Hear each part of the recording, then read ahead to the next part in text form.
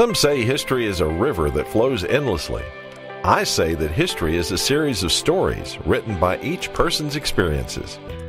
Welcome to Stories, a history of East Tennessee and Southwest Virginia, one story at a time. And welcome in once again to another episode of the podcast. I'm Steve Gilly, and today we're going to tell you a very interesting story about a very interesting character in East Tennessee by the name of John Randolph Neal Jr. Now, what's so important about Mr. Neal?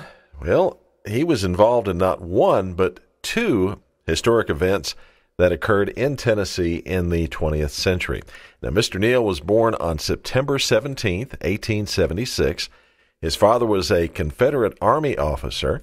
He was born in Rhea Springs, Tennessee, and went to the University of Tennessee, where he graduated with his undergraduate degree in 1893. Got his law degree from Vanderbilt Law in 1896 and a PhD in history from Columbia in 1899. Now, Mr. Uh, Neal then went on to teach law at the University of Denver in Colorado. And here's the first interesting thing about him. In 1906, while he was teaching in Denver, he was elected to the Tennessee House of Representatives from Rhea County while living and teaching part of the year in Denver. He'd come back to Tennessee back and forth. And this is, of course, is before the days of airplanes, fast trains, automobiles, and all that. So he'd have to come back by train to spend what little time he could in Rhea County and in Nashville while he was taking care of uh, state business. Anyway, he uh, served one term in the Tennessee House. Then in 1908, he was elected to the Tennessee Senate, and that's where his political career came to a crashing halt. He uh, ran afoul of the governor and other Democrats in the legislature. He was primaried out in 1910. But by that point, in 1909, Mr. Neal was teaching law at my old alma mater, the University of Tennessee College of Law in Knoxville. While there, he gained a reputation as being a, a little bit odd. I guess you could call him the original um, absent minded professor. Uh, he would miss classes, he would miss tests, but that's okay because if you took one of his classes, he gave you a 95, pretty much guaranteed. Uh, he was known for not bathing and for wearing the same suit for days at a time. He also had a habit of not cashing checks, tuition checks, paychecks, what have you. A lot of the students there at the University of Tennessee School of Law ended up getting a free education because Professor Neal didn't cash their check. Anyway, this went on for a few years, but in 1923, Mr. Neal's career as a law professor at UT came to a crashing halt in an incident called the Slaughter of the PhDs. In 1923, uh, UT President Harcourt Morgan, for whatever reason, decided to let seven professors go from the university. And a lot of the folks said it had to do with some of the professors wanting to teach the theory of evolution. Professor Neal supposedly represented one of the professors, or at least advocated for one of the professors, and got himself on the list. Any event, Neal and the other six professors were let go from UT. Professor Neal appealed to Governor Austin Peay and got a review board hearing for all seven. However, after hearing evidence, there was a vote of five to two to sustain President Morgan's dismissal of those professors. And as a result, Mr. Neal went out and did the only rational, reasonable thing. He started his own law school, the John Randolph Neal School of Law, right there in Knoxville, Tennessee. Now, this was a part time school you didn't go full time. If you know you could work wherever you worked and then go to school at night part time. Did very well up until 1943 when the state legislature passed a law requiring full time attendance at law school, and then the John Randolph Neal School of Law came to an end. But that's not the end of Mr. Neal's story because now we're getting into those two famous things that he was involved in. The first one involved the theory of evolution. If you remember in your history classes, uh, at least in mine, we talked about the Scopes monkey trial, which was held in Dayton, Tennessee in 1925. And as most of you have heard, it was basically Clarence Darrow uh, versus William Jennings Bryan over the teaching of evolution. John Randolph Neal was appointed as the lead counsel for the defense, and he remained in that position for the entire trial. The ACLU is the one who brought him in. Neal, in turn, brought in Clarence Darrow over objections from the ACLU that Darrow would turn it into a trial against religion, which, of course, he did. Neal agreed with the ACLU and became upset with Darrow over this.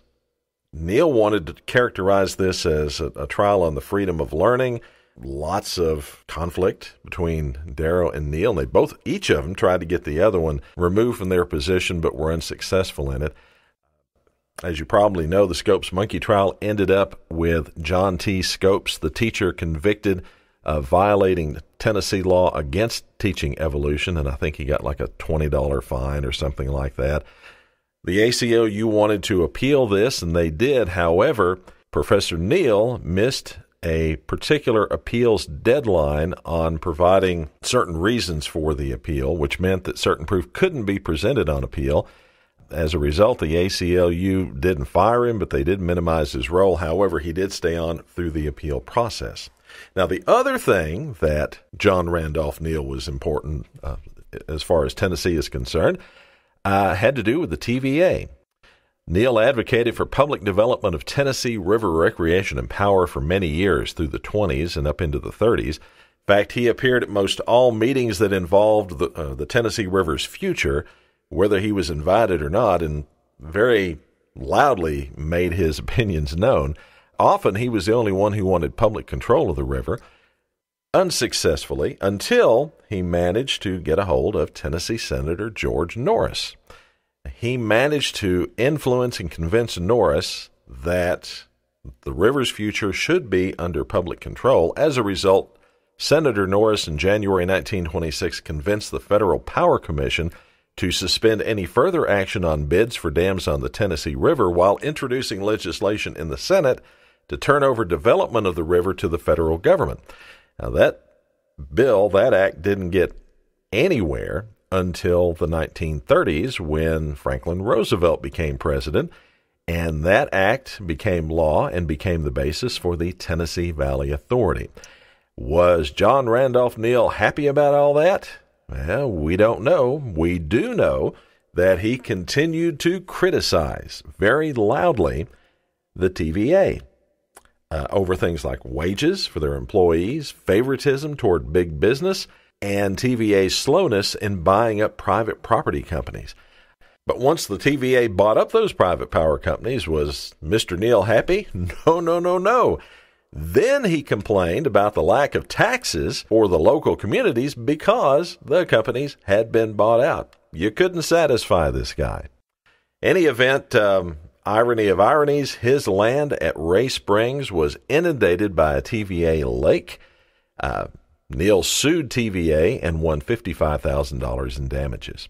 Now, even though his political career ended uh, way back in the teens, 1910, 1912, Neal ran for senator an additional 18 times, governor nine times, and for the U.S. House of Representatives one time, and he won exactly zippo. Yeah, he lost all of them. Um, Mr. Neal was involved in several liberal causes throughout the South through the 20s and 30s. For example, he represented a couple of Gastonia, North Carolina cotton mill workers, defending them of killing a foreman during a strike in 1929. Also in 1929, he came to Elizabethton and defended striking workers. He was an advocate for striking students at Lincoln Memorial University, and in 1932, he defended some striking workers in Harlan, Kentucky, who had been chased out of Harlan. Uh, no word on how well he did in defending any of those folks there, but he certainly was an advocate for people who were striking for uh, better wages and for their rights against their employers. Now, one habit that I think I did mention is a habit that he had of never cashing checks that he received. In fact, that $55,000 that he got from the Tennessee Valley Authority, well, TVA accountants were trying to balance their books later on, and they couldn't because that $55,000 check was still out there. So a TVA accountant came out to his house, confronted Mr. Neal about the checks said, Man, you got to cash that check. We've got to get that reconciled. So he dug around in his pockets. He found several other checks. And way back in the bottom of his back pocket, he found the check for $55,000 all wadded up, which he then endorsed and cashed, and TVA got their books reconciled. After the Scopes monkey trial, this habit of not bathing and wearing the same suit for days at a time got even worse. In fact, his hygiene dropped even more as he was banned from the S&W cafeteria in downtown Knoxville and was kicked out of the Watauga Hotel in Knoxville where he was living because he would not keep the hotel uh, room clean nor himself. I'm sure he had quite a fragrant odor, so to speak.